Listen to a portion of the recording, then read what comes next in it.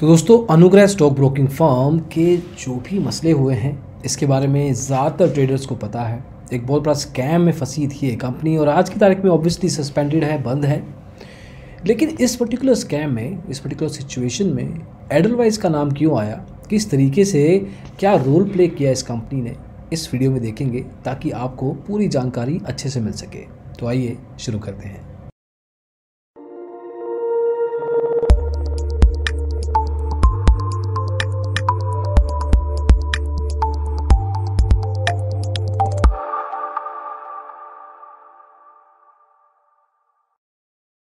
तो बात शुरू हुई है दोस्तों सितंबर 2020 से जब नाम सामने आया था अनुग्रह का। हालाँकि बहुत सारे क्लाइंट्स ऑलरेडी उनके पीछे पड़े थे कि उनका पैसा फंसा हुआ है, वापस दे दीजिए।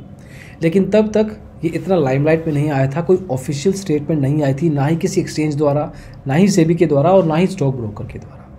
मामला था ये शेयर्स की प्लेजिंग का, जो इन्होंने एडलवाइज कस्टोडियल सर्विसेज़ अब एडलवाइज ब्रोकिंग सर्विसेज़ की बात नहीं हो रही है कस्टोडियल सर्विसेज़ जो कि एक अलग कंपनी है उसकी बात हो रही है ई सी एस अब ये कंपनी क्लियरिंग हाउस के रूप में एक्ट करती थी अनुग्रह के तो जो भी ट्रेडिंग होती थी, जो भी प्लेजिंग होती थी शेयर्स की, वो इनके थ्रू होती थी। तो चार, साढ़े चार सौ करोड़ रुपए की प्लेजिंग इन्होंने एडलवाइज कस्टोडियल सर्विसेज़ के थ्रू कर रखी थी।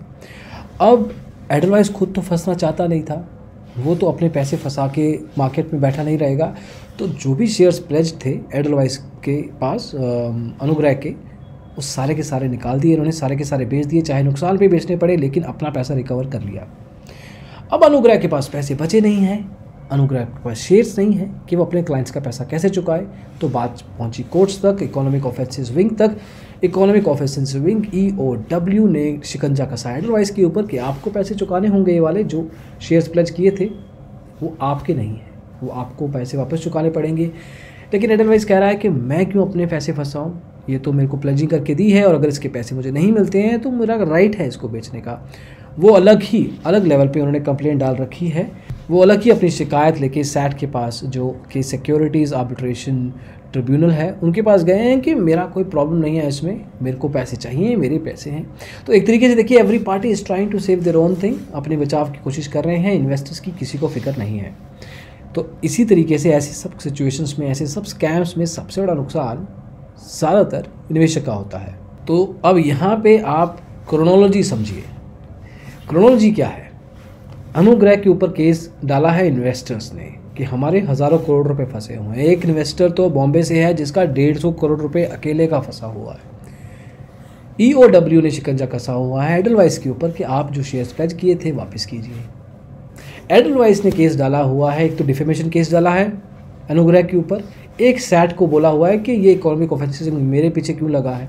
तो everybody this is whole vicious circle है जो हर कोई एक दूसरे को फिंगर्स पॉइंट कर रहा है, लेकिन खुद कुछ नहीं कर रहा। इसके अलावा और भी बहुत कुछ है जिसमें कि एक सज्जन है आशुतोष शाह करके, जो एक एडवर्टाइजिंग कंपनी के मालिक हैं। उन्होंने अलग केस कर रखा है। अनुग्रह के ऊपर अनुग्रह के डायरेक्टर हैं परेश करिया और इसके अलावा तेज़ी मंदी एनालिटिक्स जो कि क्लाइंट्स प्रोवाइड करता है, रहा है अनुग्रह को, उनके दो डायरेक्टर्स के ऊपर केस कर रखा है। तो मल्टीपल थ्रेड्स हैं इस पूरी सिचुएशन में। ये सिर्फ़ एक कन्फ्यूज़न क्रिएट ही हो रहा है। इज़ नो सोल्यूशन हैपनिंग तो एक तरीके से जो अनुग्रह स्टॉक ब्रोकर के तीस हज़ार क्लाइंट्स है, जितना भी पैसा फंसा है, चाहे हज़ार रुपये फंसा है, चाहे डेढ़ सौ करोड़ रुपये फंसा है, सब प्रॉब्लम है। अब सेबी ने एक्सचेंज ने जो करना था वो कर दिया। सितंबर में उन्होंने ट्रेडिंग राइट्स इस स्टॉक ब्रोकर के बंद कर दिए। एडवाइस कस्टोडियल सर्विसेज़ अभी इस केस को भुगत रहा है, लेकिन मोस्ट लाइकली वो क्लीन चिट के साथ निकल जाएँगे। उनको ऑनेस्टली खुद पे आएगी नहीं बात उन पर क्योंकि उनका खुद का पैसा फंसा हुआ था। और प्लेजिंग किसी क्लियरिंग हाउस के साथ जब होती है तो उस केस में दे हैव द राइट कि वो अपना पैसा पूरा करें। लेकिन किस तरीके से इन्वेस्टर्स को पैसा वापस मिलेगा? हालाँकि इन्वेस्टर प्रोटेक्शन फंड में 25 लाख रुपए तक आपको वापस मिल सकते हैं। तो से भी वहाँ पे डेफिनेटली ज़रूर हेल्प कर सकती है। और उसको बॉम्बे हाईकोर्ट ने कहा भी है कि आप आईपीएफ के थ्रू, इन्वेस्टर प्रोडक्शन फंड के थ्रू, जितने निवेशक हैं, उनका कम से कम 25 लाख तक का जिसका पैसा फंसा है, वो कर दीजिए। बाकी जो निवेशक का पैसा फंसा रहेगा, उसको अलग से देखा जाएगा। चाहे वो कंपनी के एसेट्स को सेल ऑफ़ करके किया जाए या कोई और तरीका। तो ये डेफिनेटली एक पॉजिटिव बात है कि इस केस में इन्वेस्टर प्रोटेक्शन फंड को यूज़ किया। ऑलरेडी शायद जा रहा है, कुछ ना कुछ निवेशकों को पैसा मिला भी है और काफ़ी कुछ फरवरी या मार्च तक कंप्लीट हो जाएगा। लेकिन ये बात समझने की कोशिश कीजिए कि जब भी कोई स्टॉक ब्रोकर के खिलाफ शिकायतें दर्ज हों, जब भी कोई स्टॉक ब्रोकर सिर्फ़ मार्जिन फैसिलिटी के थ्रू ट्रेडिंग करता हो, करवाता हो ये हम पहले भी बता चुके हैं कि आपको सिर्फ़ इन प्रोविजंस पे नज़र रखनी है ताकि आप बाद में फंसे ना और बाद में स्टक ना हो जाएँ, जो आज की तारीख में हज़ारों स्टॉक ब्रोकर हज़ारों रादर क्लाइंट्स फंसे हुए हैं स्टॉक ब्रोकर के साथ। तो go with trustable name keep an eye कि कौन से ब्रोकर के खिलाफ कितनी शिकायतें हैं, किस टाइप की शिकायतें हैं, ये भी बहुत ज़रूरी रहता है। अलग अलग स्टॉक ब्रोकर्स की शिकायतों की कंप्लेंट्स की वीडियोस हम लेके आते रहते हैं, हमारे चैनल पे आप देख सकते हैं, अलग से प्लेलिस्ट बना हुआ है। फिर भी अगर आपको कोई और इन्फॉर्मेशन ज़रूर चाहिए होगी तो हमें कमेंट्स में बताइए। Will certainly try and come up with that information for you तो दोस्तों, अनुग्रह का क्या सिचुएशन था? एडलवाइस ने क्या रोल प्ले किया है? और किस तरीके से ये सारा मैटर अनफोल्ड हो रहा है? इस वीडियो में आपको बताने की कोशिश की है। होपफुली ये इन्फॉर्मेशन आपको पसंद आई हो। लाइक कर दीजिए, अगर ऐसा है शेयर कर दीजिए। इंस्टाग्राम पे हमारे बहुत सारा कंटेंट हम डालते हैं इन्फॉर्मेशन आपको प्रोवाइड करते हैं रेगुलर बेसिस पे।